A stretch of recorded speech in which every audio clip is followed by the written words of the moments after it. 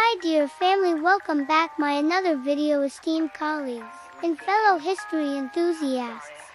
I am honored to have this opportunity to discuss an important topic that has been often overlooked in our rapidly evolving world, the Assyrian genocide.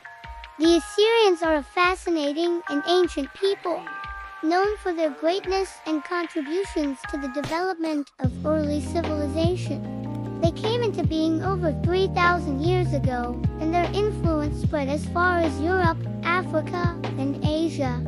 However, their story is one of tragedy and forgetfulness as they faced a devastating genocide that remains one of history's darkest chapters. The Assyrians were annihilated by their neighboring Babylonians, who saw them as a threat to their cultural and political dominance. The tragedy occurred over a period of several centuries, and it is estimated that between 12 million and 20 million Assyrians were either killed or forced to become slaves.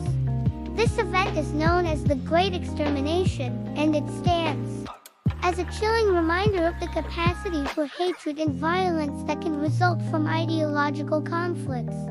In recent years, there has been a growing awareness of the Assyrian genocide, and efforts are being made to bring this terrible tragedy to light.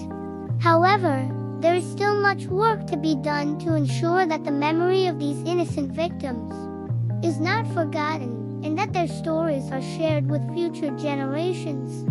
As we reflect on the past, let us remember the lessons that have been learned, and let us strive to build a more peaceful, just, and inclusive world for all.